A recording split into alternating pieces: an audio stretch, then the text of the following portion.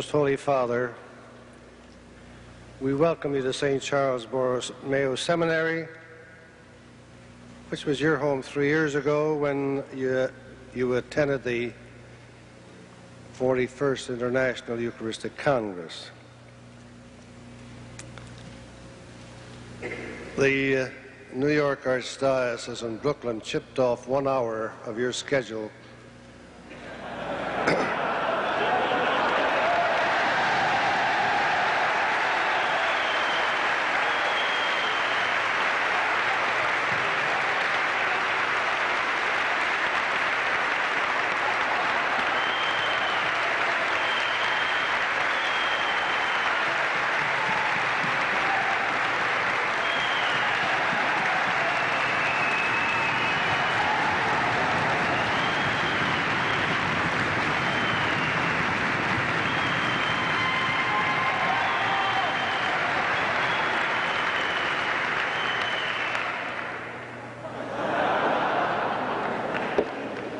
the first time anybody obeyed me.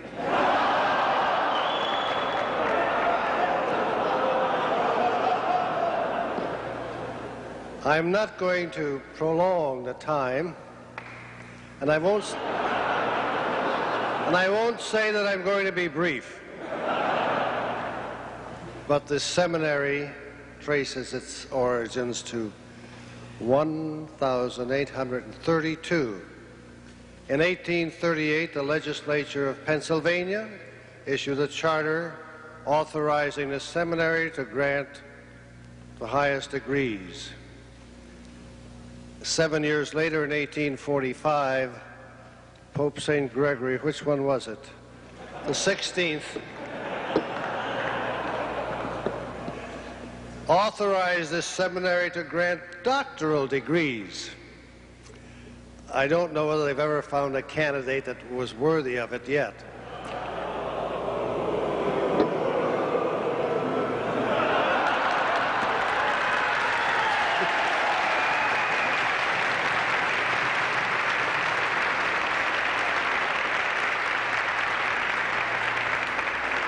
and we even today we have to do the best with what's available, and this is. That's the best. But beyond the seminarians is a representative group of Philadelphians, both Catholic and non-Catholic, marvelous people, great people. Our only regret is that we weren't, because of limitations of space, to invite more of them. We present them to you, Your Holiness, and now there's only one thing. I have to apologize for the apparent uh, undisciplined behavior of our seminarians.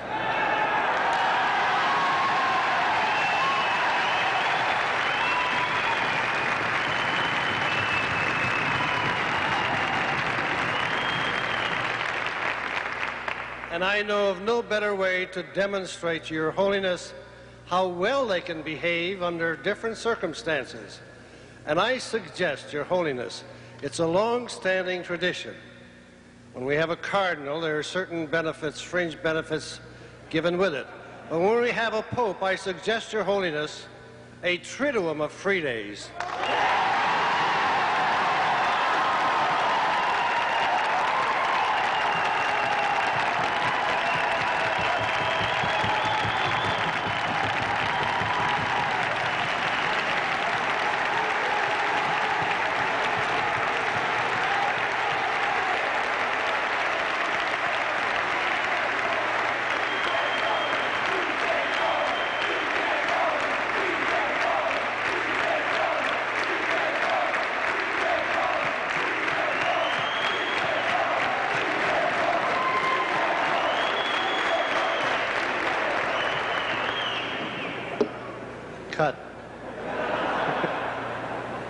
At, at, any rate, I present the faculty, the administrative staff, the student body, and a representative group of Philadelphia to Your Holiness.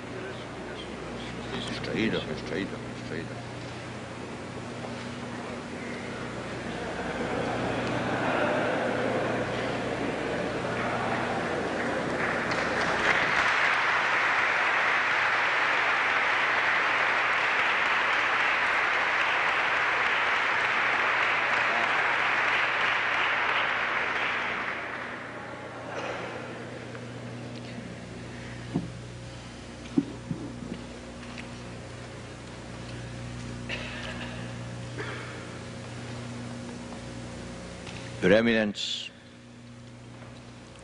thank you very much for this marvelous introduction. Now I shall read you this official paper.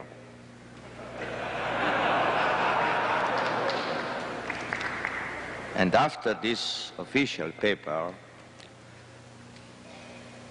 I'll, I, I shall say you something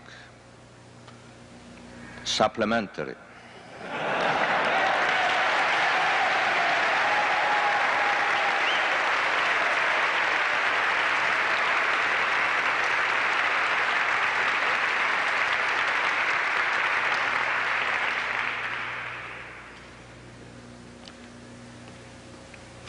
One of the things I wanted most to do during my visit to the United States has now arrived. I wanted to visit a seminary and meet seminarians. Of course, the Seminary of St. Charles and Seminarian of St. Charles in Philadelphia.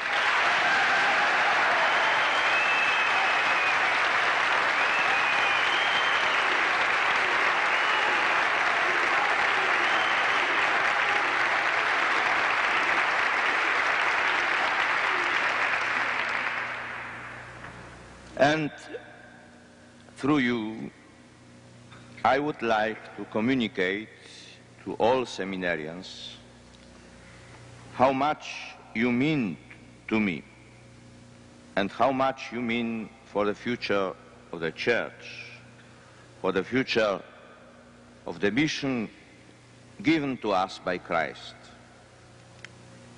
You hold a special place in my thoughts and prayers. In your lives, there is great promise for the future of evangelization. And you give us hope that the authentic renewal of the Church, which was begun with, by the Second Vatican Council, will be brought to fruition. But in order for this to happen,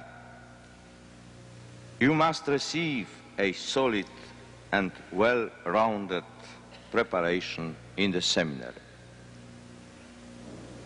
This personal conviction about the importance of seminaries prompted me to write these words in my Holy Thursday letter to the bishops of the Church. The full reconstitution of the life of the seminaries throughout the, Church will be the best proof of the achievement of the renewal to which the Council directed the Church.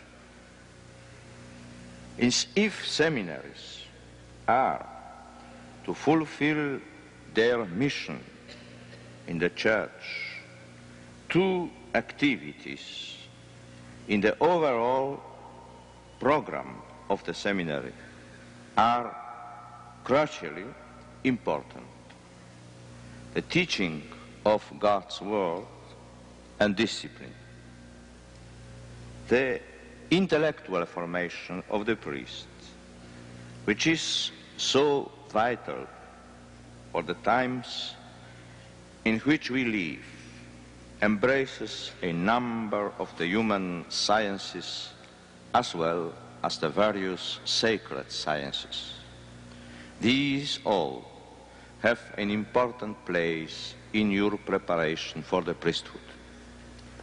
But the first priority for seminaries today is the teaching of God's Word in all its purity and integrity, with all its demands and in all its power.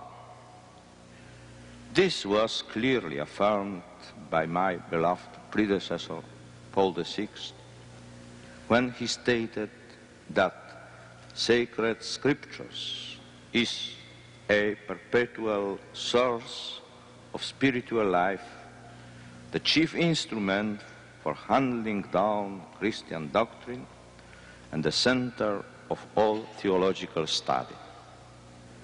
Therefore, if you, the seminarians of this generation, are to be adequately, adequately prepared to take on the heritage and challenge of the Second Vatican Council, you will need to be well trained in the Word of God.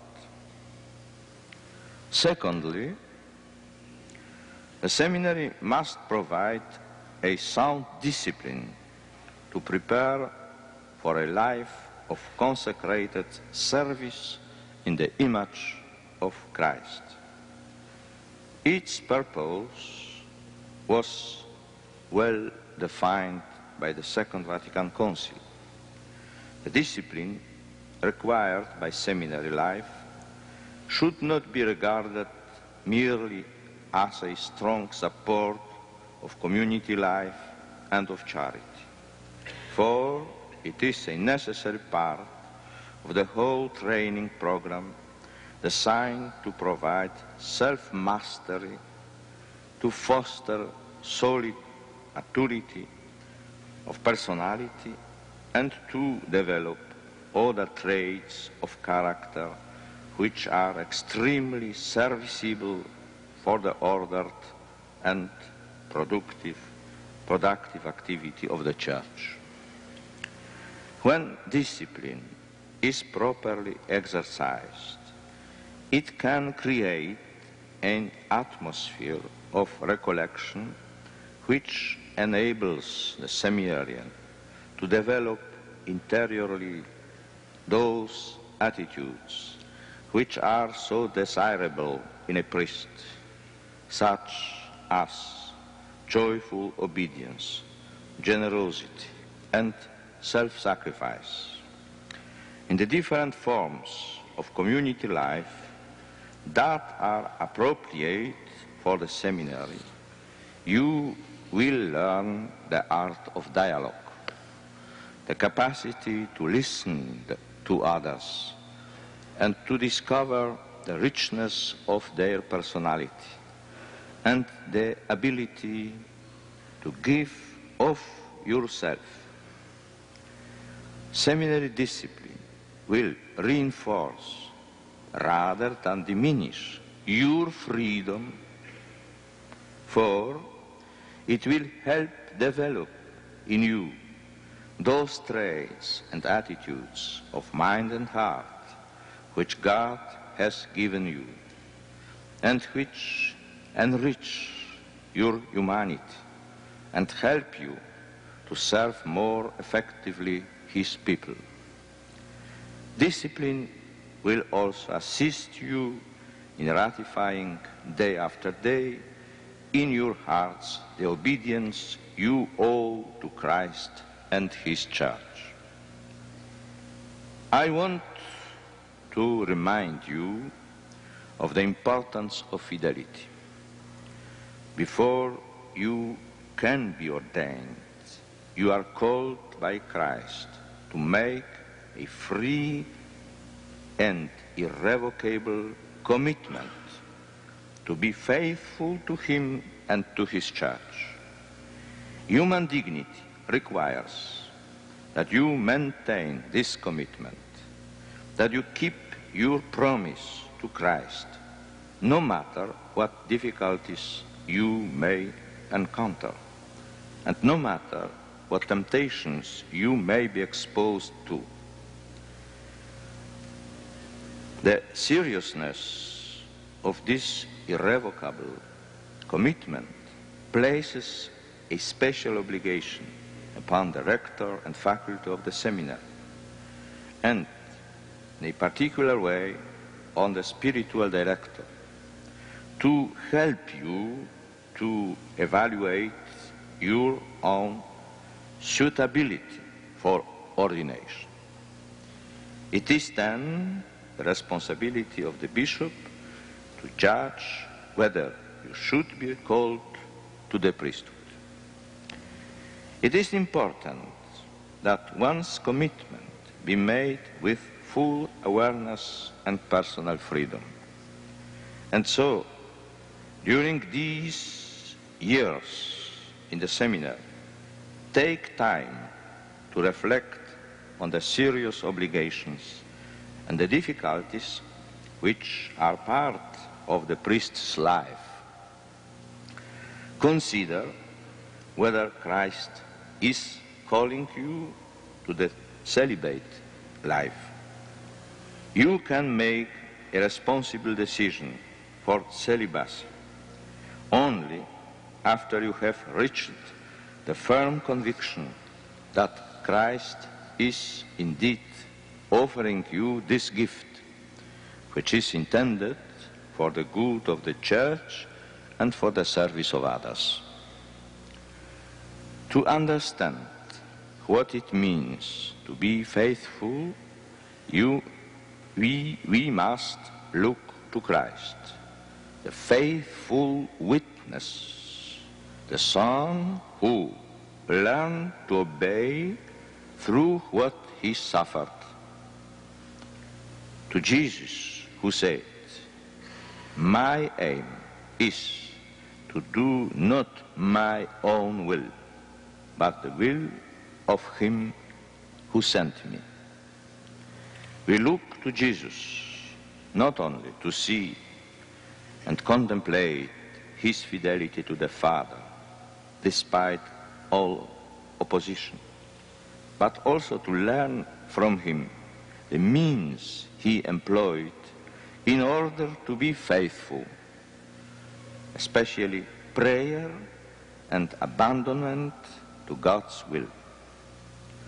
Remember that in the final analysis, perseverance in fidelity is a proof not of human strength and courage, but of the efficacy of Christ's grace.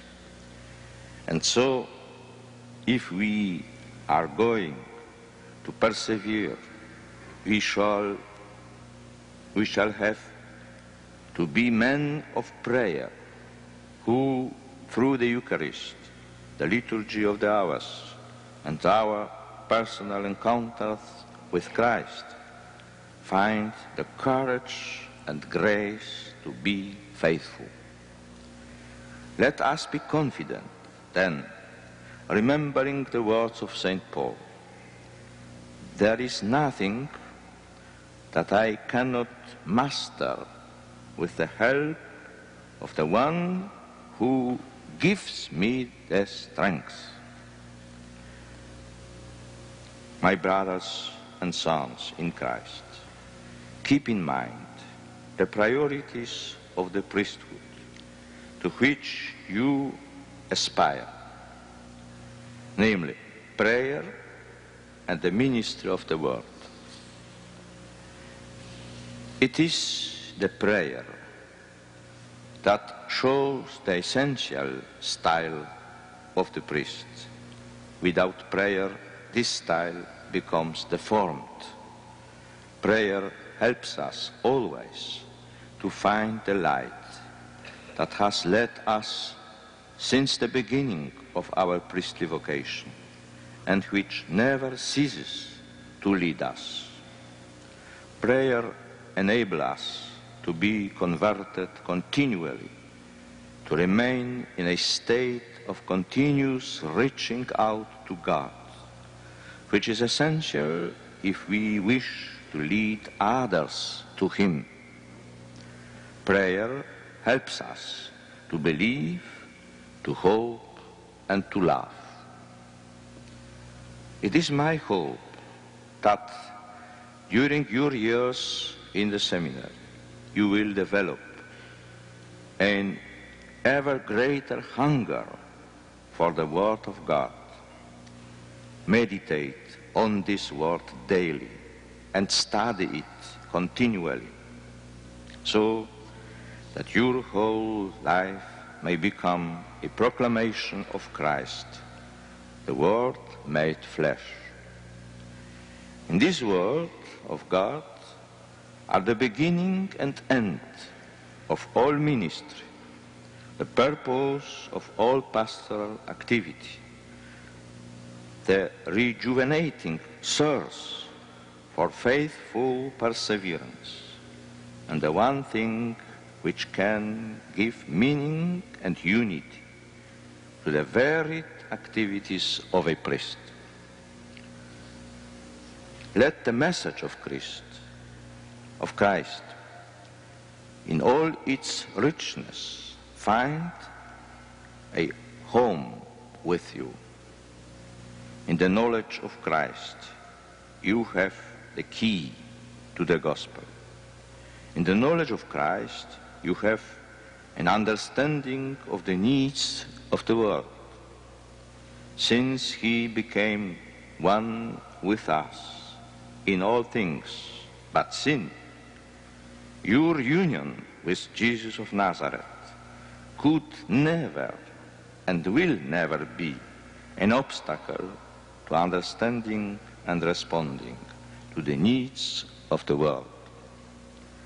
And finally, in the knowledge of Christ, you will not only discover and come to understand the limitations of human wisdom and of human solutions to the needs of humanity, but you will also experience the power of Jesus and the value of human reason and human endeavor when they are taken up in the strength of Jesus, when they are redeemed in Christ.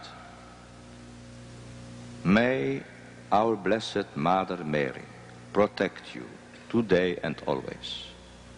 May I also take this opportunity to greet the lay people who are present today at St. Charles Seminary. Your presence here is a sign of your esteem for the ministerial priesthood, as well as being a reminder of that close cooperation between laity and priests, which is needed if the mission of Christ is to be fulfilled in our time. I am happy that you are present and I am grateful for all that you do for the church in Philadelphia. In particular, I ask you to pray for these young men and for all seminarians that they may persevere in their calling. Please pray for all priests and for the success of their ministry among God's people. And please pray the Lord of the harvest to send more laborers into his vineyard, the church.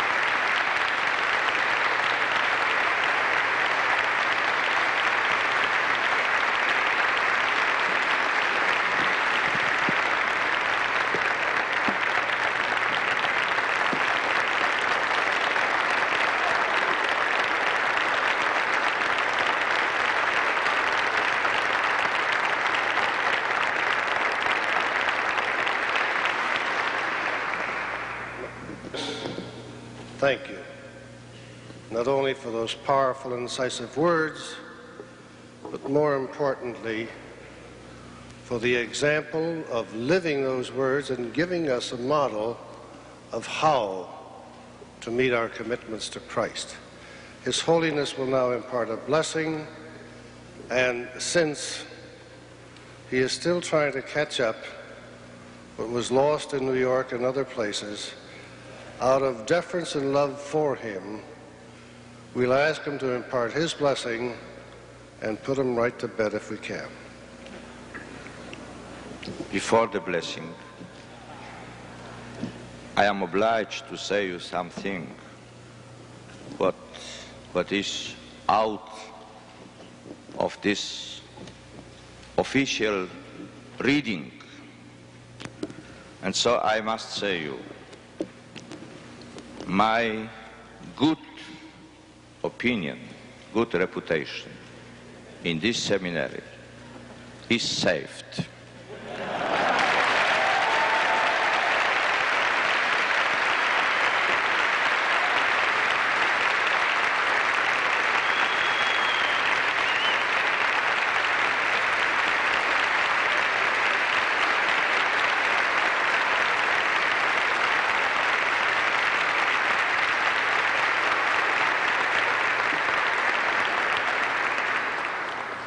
You know, I am here, my visit here is for the third time, for the third time. The first time I came here 10 years ago as a young cardinal.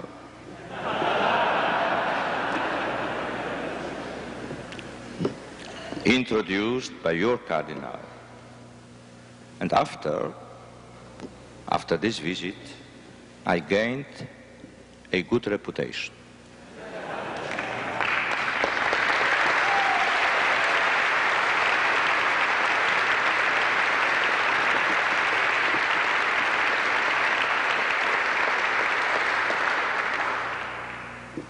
When, when I, I came for the second time in 76 for the Eucharistic Congress,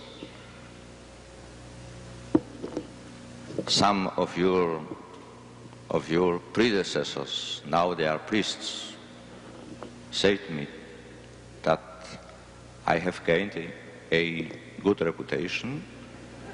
After my visit, they obtained one or two days off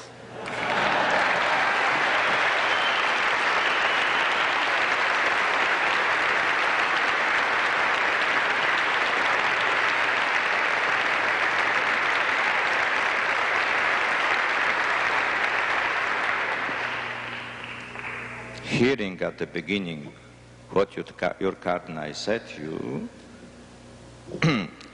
I was obliged to say to myself, my reputation is saved.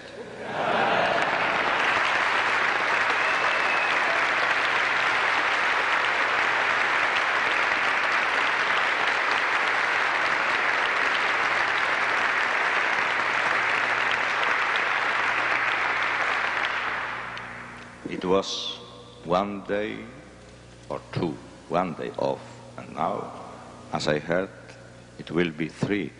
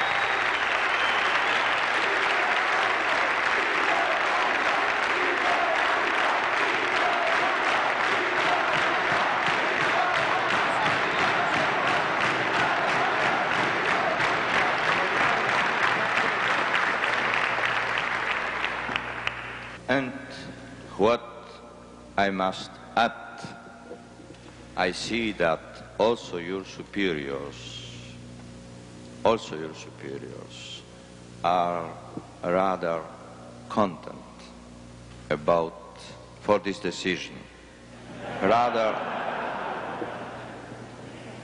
rather in accordance, non in opposition.